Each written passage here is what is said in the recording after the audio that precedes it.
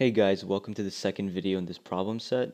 So this one is going to be all about formal charge. So if you saw the last video, you would have seen uh, like these things, like these little plus charges and these minus charges, right? So that's what's known as formal charge. So I'm going to show you what that is and how to calculate that uh, in this video. All right. So I drew a little uh, problem over here for you guys. So it has a carbon bound to two R groups and uh, of the double bonded to an oxygen. Now, just so you know, R groups can really be anything, right? It could be another carbon, uh, hydrogen, anything. In this case, it doesn't matter. That's why I drew, I drew it as R. It has no effect on what we're doing. So the basic equation for a formal charge is the valence electrons of the atom, which you can figure out just by looking at the periodic table, minus uh, the number of bonds it has, plus the electrons in the lone pairs. So we're just going to run through this example over here, starting with the oxygen. So if you look at the periodic table, you'd see that oxygen has six valence electrons, right? And so now we got to figure out the number of bonds. So this oxygen has two bonds, okay? And so it has those two bonds to the carbon, so we just write in two plus the individual electrons in its lone pairs. So this has two lone pairs over here. Uh, and so that's a total of four electrons. We put four, right? And what you get is six minus six, and that's just going to be zero. Now, when it's a formal charge of zero, that means that that atom is neutral. And so we don't write a plus charge or minus charge. We just leave it as is. So let's look at the carbon. This carbon has how many bonds? Oh, sorry, how many valence electrons does carbon have? If you look at the periodic table, you see that carbon has four valence electrons. And so the amount of bonds it has is two to this oxygen, one to this R group, one to that R group. So that's a total of four. And now how many lone pairs does it have? This carbon doesn't actually have any lone pairs, right? And so we can just uh, write in a zero. Sorry, zero and then when you go through that, you're just going to get another zero. Alright, and so that means that carbon is also neutral. Now, before I go any further in formal charge, I'm just going to introduce something about carbons and the way that they're drawn out. Now, when you in the beginning of Orgo, you'll see that carbons, uh, carbon chains are drawn like this, okay, or maybe even like this. So, the thing about carbons is it likes to have four bonds, okay, and it gets very tedious when you're drawing out really large structures to keep drawing in all the hydrogens and stuff. So what uh, most people, the way people write long carbon change chains is going to be like this. And so what that represents is every little point in here, like you see there are four points, or is a carbon atom. And because so because carbon has four likes to have four bonds, if we do not show that anything else is bound to a carbon, we assume that those four bonds are going to be hydrogens. So if you look at this carbon over here, we see that it has one bond to another carbon. And so since we didn't draw it bound to anything else, we assume that uh, the remaining three bonds are going to be hydrogens. So we can just draw in one hydrogen, two hydrogen, three hydrogen. Now if we look at this carbon, it has one bond to that carbon a second bond here, so that's two out of the four. And since we didn't draw in any other atoms bound to that carbon, we assume that there are two hydrogens.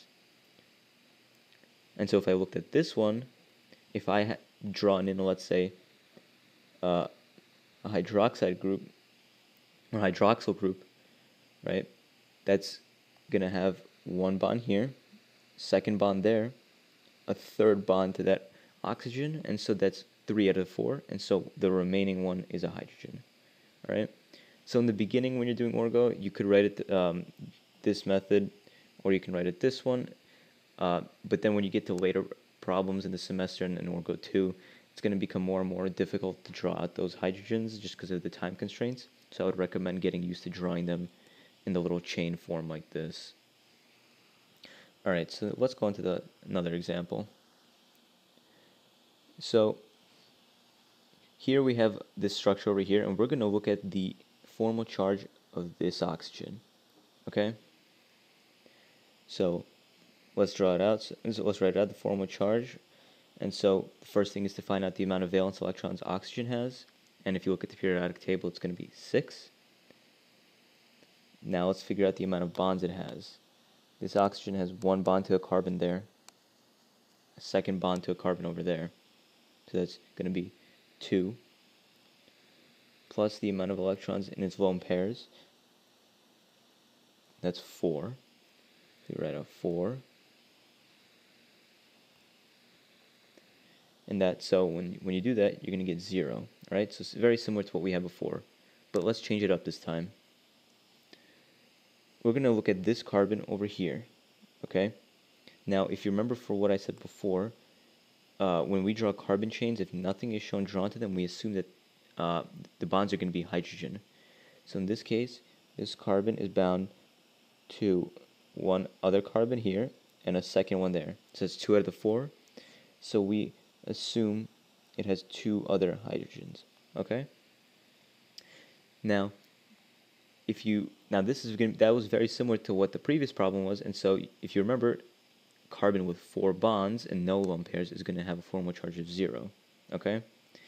So let me change it now. Imagine if we took this hydrogen and deprotonated it, right? Very similar to a reaction we saw the last time, in which something is going to grab that hydrogen and rip it off, and the lone pairs are going to go onto the carbon, right? Remember, a bond has exactly two electrons, and so two electrons are now going onto that carbon. So let's redraw it. That hydrogen is gone, and we now have a lone pair on that carbon. So let me actually just redraw it, only looking focusing on that one carbon, just so you guys can see it easier. So we have that hydrogen. And now we have a lone pair. So let's calculate the formal charge. So hydrogen, uh, oh my god, carbon's valence electrons are going to be 4. And so the amount of bonds it has, so it's got one here, second one, and a third one, so that's 3. Plus the amount of lone pairs it has the electrons in the lone pairs. And so it's got 1, 2. So we draw 2.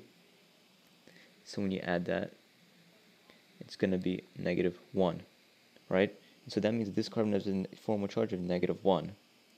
And trust me, you'll be seeing a lot of this specific structure in Orgo 2. It's a really big topic.